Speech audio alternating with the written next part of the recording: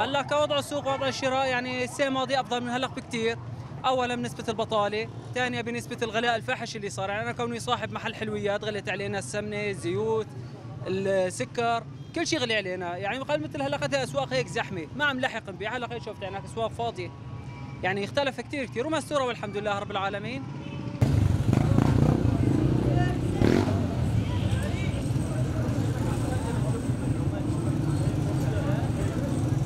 يعني راتب العامل لا عم يكفي لا شيء نهائيا بنوب يعني.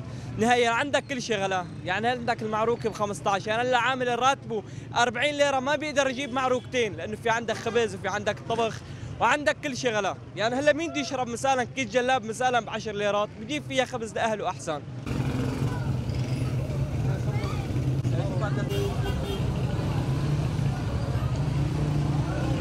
والله يا اخاي الوضع غلى كثير كثير تمام؟ إذا أنت اليوم عامل عم تشتغل ب 50 ليرة دوبك تطالع حق أكلك شربك هاي زمانك متجوز.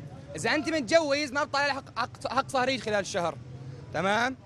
في صاير احتكار البضاعه كثير في غلا نار نار بكل معنى الكلمة. على المؤاخذة أنا هلأ صنت بكالوريا ما حرام أجي أنزل أشتغل بالشغل لأنه ما معي مصارات أحسن أدرس مزبوط ولا لا؟ يا ولد من الله.